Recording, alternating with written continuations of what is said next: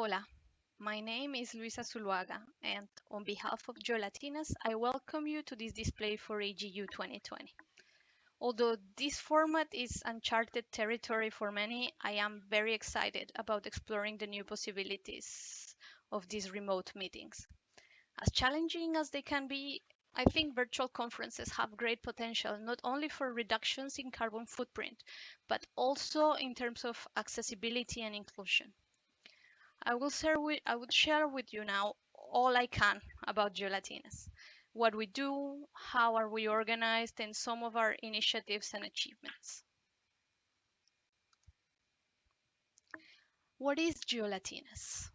We are an inclusive circular organization driven by its members. Our mission is to embrace, empower, and inspire Latin women to pursue and thrive in careers in earth and planetary sciences. We aim to go from inspiring young and less young generation to support career development, increase our visibility, and hopefully improve retention at all stages. Why was Geolatinas created? So here we have some very discouraging numbers showing why do we need serious initiatives for diversity, inclusion, and retention. This is irrespective of academia or industry, policy and decision-making arenas. Although the data is mainly from the US, these trends are worldwide. As you can see here with these numbers, issues get amplified when one belongs to more than one minoritized group. And in current crisis, like the one we're seeing now in our global pandemic, the things can have important long-term implications. So we want to address this, and Geolatinas creates a space for us in which we can grow and develop, and hopefully we can improve these appalling numbers. Geolatinas has existed for less than two years, and with the exception of local teams, most of our organization runs online. In this short time, we have more than 200 active members, seven local teams, and 41 ambassadors, all spread out in 27 countries around the world. Big shout out here to Caro Villarraga, who is the one who is our leader keeping track of our membership worldwide. So we are mostly Latinas in Earth and Planetary Sciences, but we are very happy to have members from other demographics. They're feeling very much at home advancing our mission. These numbers, when compared against the short time we have existed, tells us that something like Geolatinas was needed for long. Perhaps technological breakthroughs acting as catalysts for societal change. Social media and the internet are definitely the ones giving us our momentum. So Geolatinas is organized in both roles and committees. Here we have uh, the different roles our members can have, but the core of Geolatinas is the Leadership Council. In this council is where all activities and initiatives take place and can be initiated and led by any active member. Before we dive into the Leadership Council, I want to show you some of the current faces of Geolatinas, or our advisors, our awesome local teams around the world, are some of our ambassadors, our current board of directors, and some of our connections with similar, with partner organization.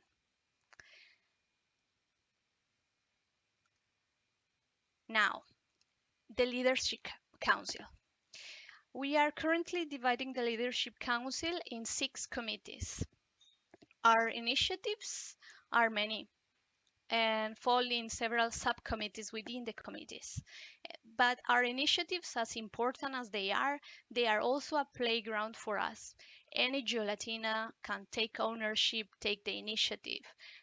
test and train themselves as leaders. And this allows us to gain confidence and transferable skills in a very supportive environment. These are some of our established initiatives. The Friday feature in social media, writing accountability meetings, our newsletter. But I want to highlight that during this pandemic, we have provided extra initiatives, all led by our members. Yoga, karaoke, Zumba. Community support becomes essential when spending long periods of time at home and there's a big uncertainty about the future. So we have mentoring, coaching, and career progressive initiatives like we, like we see here, and more is to come. We are building strong connections,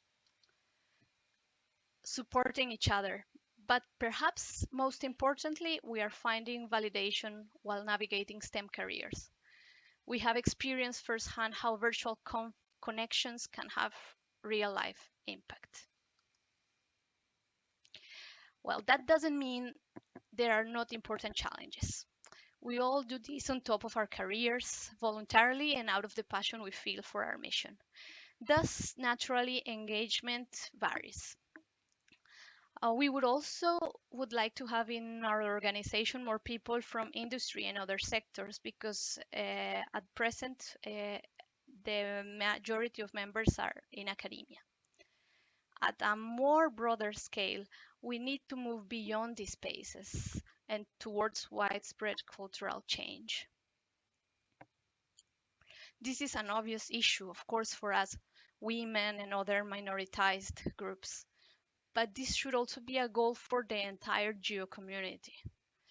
Repeated evidence suggests that diverse teams perform better in many metrics, including actual funding and profits, both in academia and industry. But despite the potential changes, changes are being painfully slow. Change is hard, but everyone needs to recognize that the benefits of a diverse and inclusive environment are for everyone and not at the expense of some. And they outweigh by far its perceived burdens. But okay, back to the present. What's next for Geolatinas? Our main immediate goals are to establish ourselves as a nonprofit and secure funding to support our activities. So if you felt motivated, inspired, or just curious, we'd love for more people to join us, to get involved, and just to be aware of what we do and support our mission. And these are some of the ways you can do this. With that, I conclude this presentation for EGU 2020, Sharing Geoscience Online. Gracias.